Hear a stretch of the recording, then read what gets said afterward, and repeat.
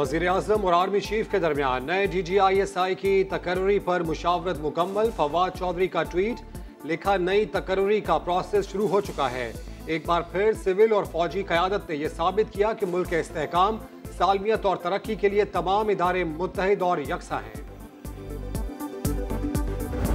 एक शख्स जो कि वज़ीर अजम की कुर्सी पर काबिज है, वो बजाय इसके कि आइन और कानून के तहत मामला को चलाता हो, वो जादू, टोना, झाड़, फूंक, हिसाब किताब के ज़रिए मुल्क को चला रहा है। बजाय वज़ीर आज़म के जिन्नात वो तकर्रियाँ करते हों, जिन्नात टाइमिंग्स तय करते हों।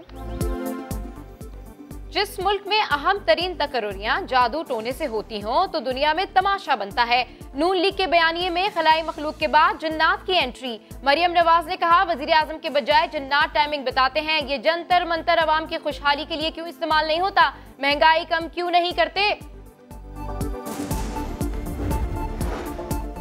मरियम नवाज़ की एवन फ़ील्ड में सजा के खिलाफ अपीलें। वकील इरफान कादिर ने अदालत को दलाइल देते हुए नवाज़ शरीफ के लिए यकीन दहानी भी मांग ली।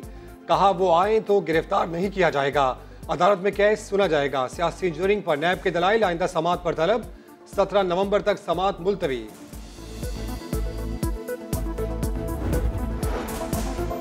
नैब ऑर्डिनेंस में तरमीम। सुप्रीम कोर्ट के फैसलों की खिलाफ वर्जी है। हुकूमत ने चेयरमैन नैब की मुद्दत मुलाजमत बढ़ाने के लिए तरमीम की।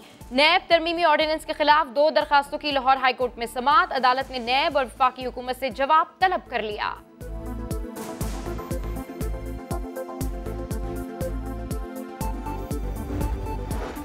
कसर फातमा के गैर मुनासिब इस्तेमाल पर सिंध हाई कोर्ट ने महकमा सकाफत के अफसर को झाड़ फैला दी।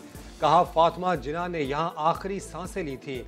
आप वहाँ नाच गाना कर रहे हैं। कल आप मजार कायद पर भी नाच गाना करेंगे। अब तक जो पैसा कमाया है वो दें। अदालत ने तीस साल आमदनी का रिकॉर्ड मांग लिया। कसर फातमा को मेडिकल कॉलेज बनाने का हुक्म। सिंध हाई कोर्ट ने आमदन से जायद असासों के केस में स्पीकर सिंध असम्बली की दरखास्त जमानत मुस्तरद कर दी। आगा सिराज दुरानी समेत आठ मुलजमान को गिरफ़्तार करके जेल भेजने का हुक्म दे दिया।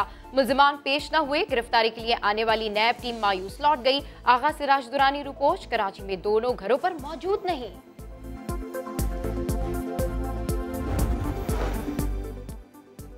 मुल्क भर में डेंगू के वार जारी। लाहौर में 24 घंटों में तीन अमवात दो सौ उनतीस नए केसेज सामने आए। इस्लामाबाद में इकसठ मरीज़ डेंगू से मुतासर। रावलपिंडी में मजीद अट्ठावन अफराद में वायरस की तस्दीक हुई। खैबर पख्तूनख्वा में एक ही दिन में एक सौ अट्ठानवे नए केसेज रिकॉर्ड।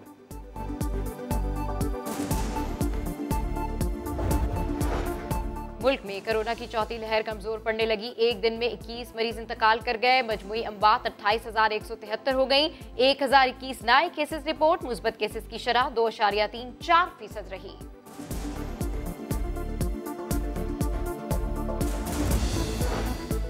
वज़ीर खारजा शाह महमूद कुरैशी से न्यूजीलैंड की वज़ीर खारजा की गुफ्तु दो तरफा ताल्लुक और अफ़गानिस्तान की सूरत हाल पर तबादला ख्याल।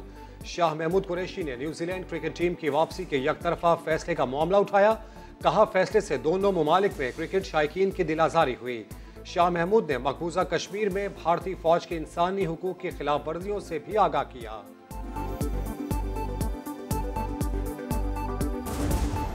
कम हुई थी, फिर आप सबको किसा पता है। जहाज़ चला। अल्लाह का शुक्र। हमारी नून से आठ सीटें कम थी।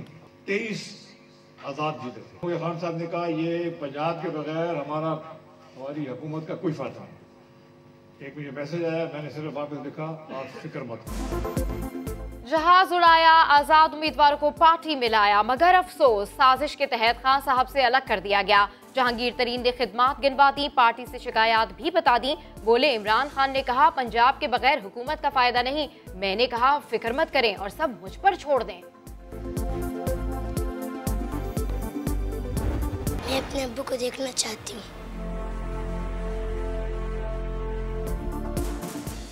वालिद की जुदाई में बच्चों का बुरा हाल कराची की हिजरत कॉलोनी का शाह वज़ीर लाखों रुपए तावान देने के बाद भी घर न लौटा। ढाई साल से बूढ़ी माँ भी बस बेटे की सही सलामती वापसी के लिए दुआ गो। ढाई साल हो गया कुछ पता नहीं। ये हरनाई में जलजला और after shocks disaster management authority ने कोयले की कानों में 19 अक्टूबर तक काम पर पाबंदी लगा दी। हम सारे गवर्नर हाउसेस को पब्लिक के इस्तेमाल के लिए यूज़ करेंगे। दथिया गली गवर्नर हाउस आवाम के लिए खुलना तो दूर उल्टा रास्ते खारदार तार लगाकर बंद कर दिए गए। ट्रैक और गाँव का रास्ता ही बंद हो गया और किसी ने नहीं रास्ते बंद करने की मंजूरी केपी काबीना ने दी। तालिबान हुकूमत को तस्लीम करने का मामला ऑन टेबल नहीं है लेकिन इमदाद ज़रूर देंगे। जर्मन चांसलर एंग्लो मर्कल का यूरोपीय यूनियन के इश्तराक से अफ़गानिस्तान के लिए एक अशारिया, दो अरब डॉलर्स इमदाद का ऐलान।